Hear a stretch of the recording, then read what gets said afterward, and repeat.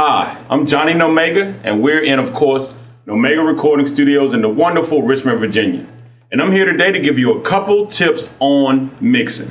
Now, as a disclaimer, it's impossible for me to teach you how to mix in a short amount of time. It takes years of experience and a lot of schooling to be able to effectively mix. But I am going to take those of you that do mix, mix in the studio professionally or mix at home, give you a couple tips that'll help you advance in your mixing. We're going to be working on the platform of Nuendo today, but the things that we learned today, you can use on any platform, whether it's Pro Tools, Cubase, Logic, Digital Performer, you name it. Now we're going to start with creating sub tracks. I've already set us up here as you can see. Now I've produced this track personally in Reason for a wonderful singer named Carolyn Scruggs. But you will notice that we have the MIDI alongside the audio. What I've done is I've taken the liberty to export all of the MIDI, put it into audio out of Reason.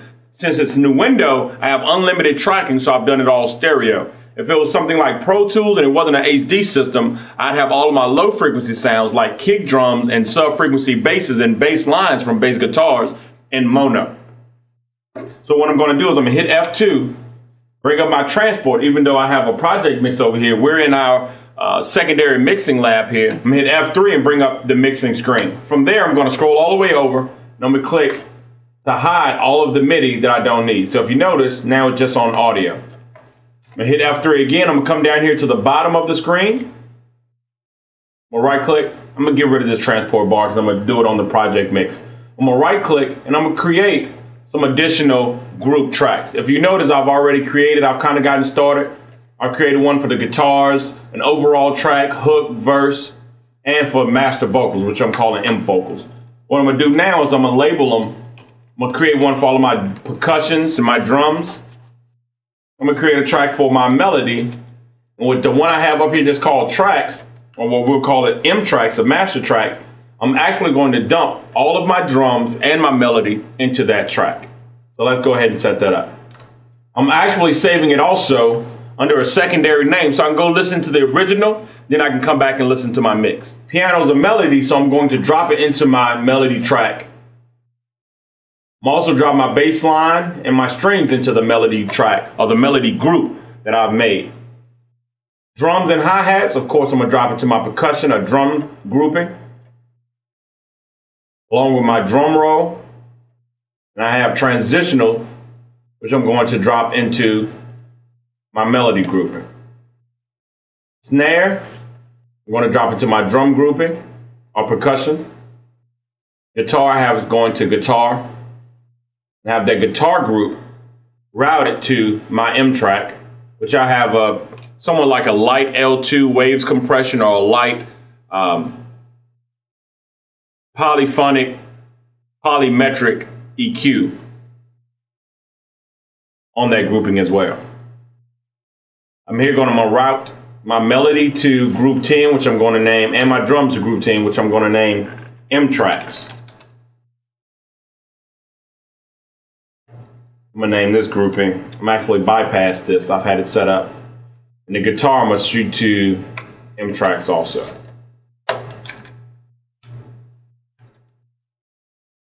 I had that one done from earlier, so I'm gonna scratch that out so you can see what I've done.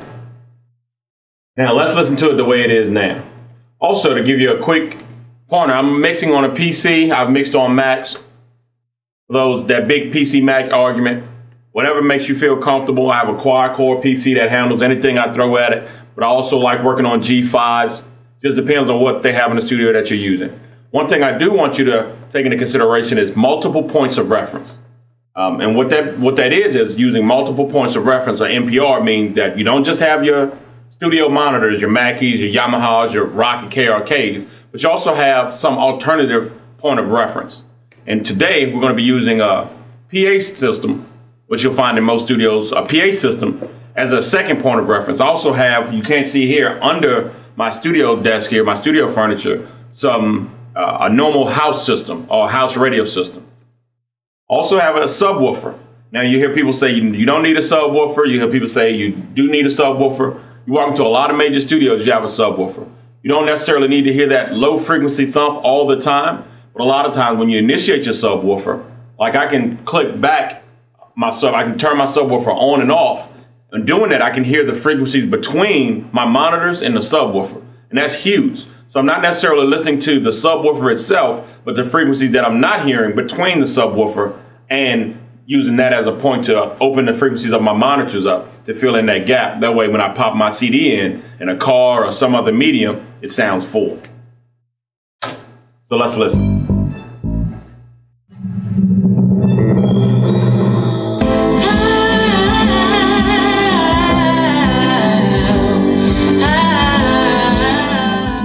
For the sake of the video, I'm going to mute the vocals and we're going to come back to that in a minute.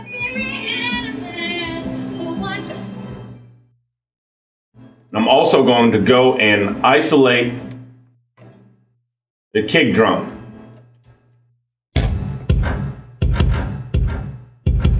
Now the kick drum sounds great as it is, but I'm gonna add a filter just to take out frequencies. Now, you may not hear frequencies in your kick drum, as in higher frequencies, but they are there a lot of times if the kick drum isn't pre-EQ. So one thing I like to do is just to add a Q filter on or some type of EQ to take out high frequencies that I may not hear until everything's blended together. Once you blend it all together, I'll notice that my mix sounds a lot cleaner. So let's do that.